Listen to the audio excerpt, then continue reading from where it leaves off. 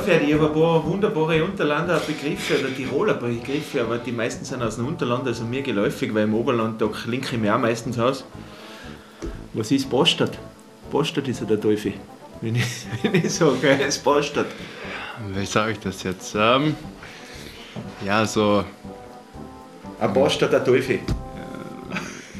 Die Frage ist jetzt, ich bin mir nicht sicher, entweder ist es so ein bisschen so tollpatschig. Nein, das ist ein da. Das war ein Oder- Bastard. Ein Bastard bist.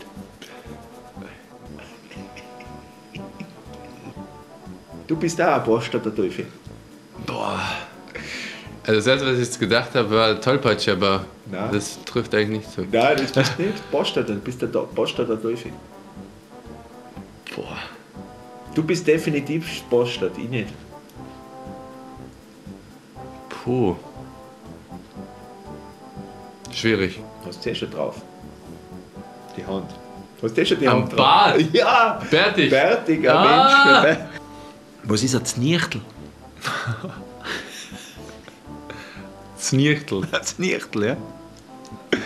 Das ist ja kein komplettes Znichtel. Ja, unnütz. Nein, nein, der Dings ist ein Znichtel.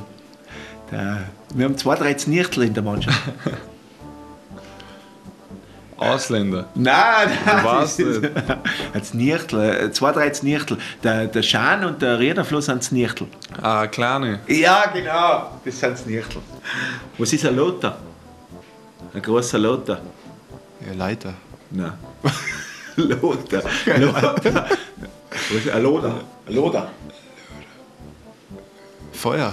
Nein, ein großer Lothar. Du bist jetzt nicht so ein großer Lothar. Ja, okay, ein, ein großer Mann. Ja, genau. Der Leiter ist ja nicht schlecht von der Ja, ja.